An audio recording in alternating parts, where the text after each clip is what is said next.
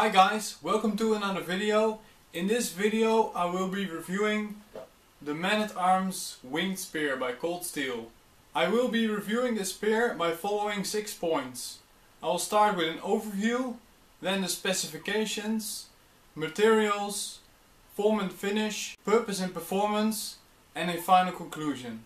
The Cold Steel Man-at-Arms Winged Spear is made in India and sells for about 100 euros. But due to low stocks at Cold Steel, I had to wait over a year to finally get this spear. I bought a shovel handle separately at my local hardware store and I cut it to size for a snug fit. I then secured the head to the handle with two screws. As a finishing touch, I added paracord for extra grip. The length of the spearhead is 24 inches. The width at the widest point is 4 inches and that is at the wings. I did not measure the thickness, but as you can see, it is pretty thick.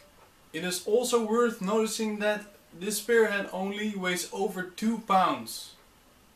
This spear is made out of 1055 carbon steel that is finally finished with a gunmetal bluing.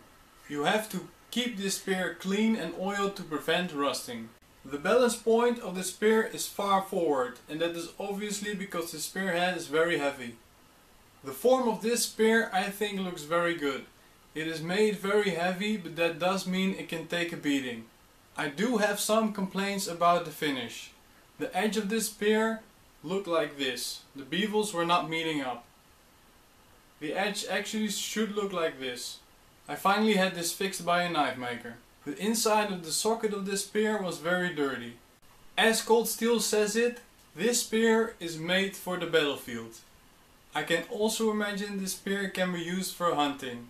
More specifically that means thrusting, cutting and throwing. I will be going over these three points separately. This spear can also be used as a very cool wall hanger. Okay guys, it's time for the fun part. We start out with cutting. I have some experience with cutting competitions, but obviously that is with a knife and not with a spear. Cutting water-filled bottles, this spear didn't perform very impressive. The spear's edge just won't get sharp enough.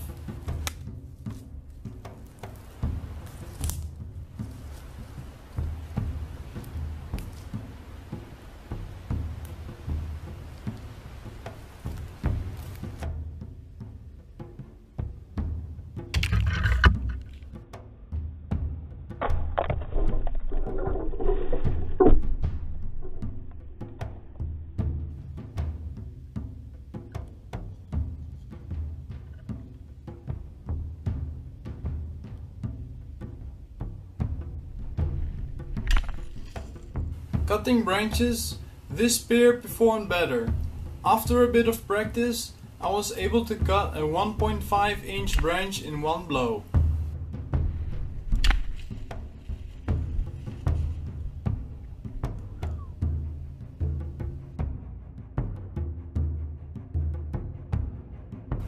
On to the thrusting. You can thrust very well with this spear and it is obviously made for this task.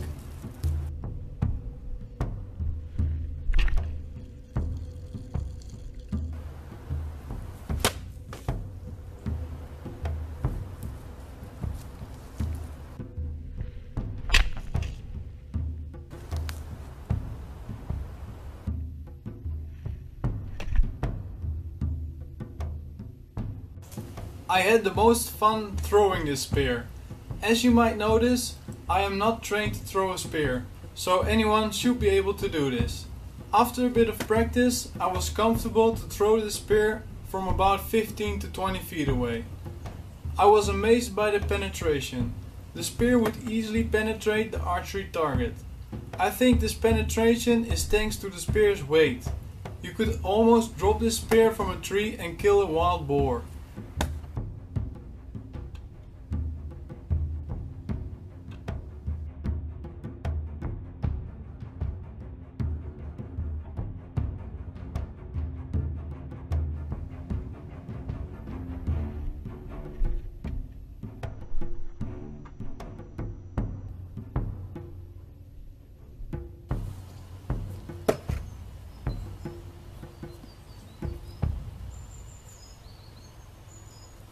You thought I didn't miss? Well, I sure did. Every time the spear hits the ground, it sounds like a shovel was put into the ground. Aside from a few scratches, there was no damage.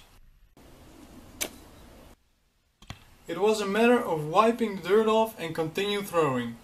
Throwing and missing really showed that this spear is not likely to break.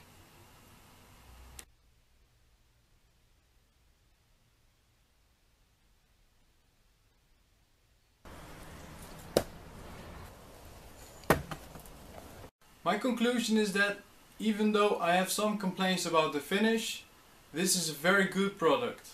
You get what you pay for.